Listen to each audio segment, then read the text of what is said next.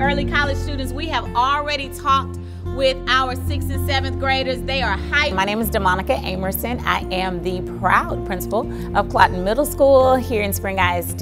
Here's with a purpose. Your purpose is to not only support these students, but to encourage them. The program actually is designed to take our sixth and seventh grade students and partner them with juniors and seniors from early college. Here in the library, the first day the sixth and seventh graders met their tutor. How about you? What'd you do over spring break? This is the first day. There you go. Over the weeks, the relationships built. High five. And it allowed them to be able to actually teach. Okay, well, in the first story, Today we were focusing on reading and comparing and contrasting the different articles. either of the little short stories does it say anything about exciting people? No. No, it doesn't. So that can't be an answer choice. Today, what we went over was absolute value. So, what is the absolute value of the sunken ship?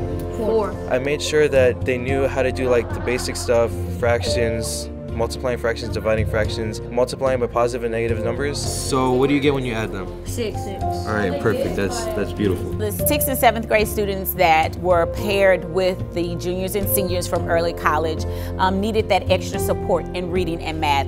And so we looked at their data and we said these students just need that push. And we knew even though they would hear the same material and the content, a different voice would make it more relative to them and it would give them just what they need to get over that little hump. I like to ask my kids, what do you guys need help with? What do you really need help with?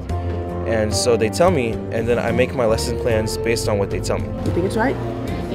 You think it's right? I think it's right too. For the kids, I think it's going to improve their confidence. I noticed a change, like as I was working with them, introducing like new skills. I noticed a change in like how they felt answering questions and reading out loud. They can share a lot of information about not only the subject matter, which is reading or math preparation for the STAAR test, but they can also talk to them about a number of other things like what is high school like. Whenever y'all get into like high school and stuff, and y'all taking like SATs, y'all are gonna want to look at the questions first, so y'all know where to look, because you're on a timer. The one thing I hope the kids get out of this experience is that they learn that just never to give up. You have to find help, find people to help you.